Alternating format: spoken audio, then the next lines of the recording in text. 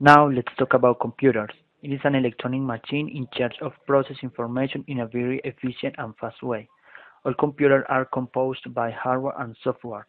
Computer hardware is the collection of all physical components and software is all the program running in the computer.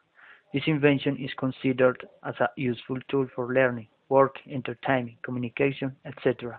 However, computer is unable to learn or teach by itself. In general, computer process numbers, words, still or moving pictures, and sounds. The role of this machine is to be an aid tool for teachers and not to replace them. Thus, the computer is unable to create educational material without the teacher. For that reason, its effectiveness relies on how students and teachers use it in order to achieve a goal. Computers offer learners various activities for developing different language skills. They can provide useful and motivating mediums for the language learner, whether oriented to reading or not.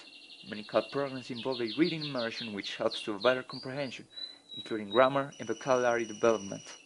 Vocabulary, grammar, punctuation, and reading tests and activities have an obvious relevance to the skills needed for writing.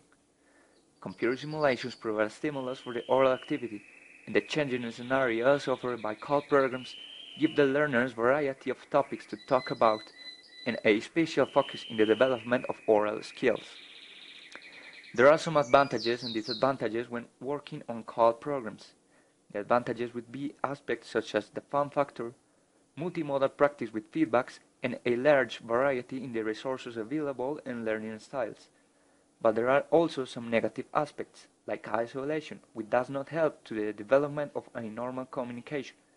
The time and effort to create a CALL program is often considerable and is more tiring to read from a screen than a printed paper.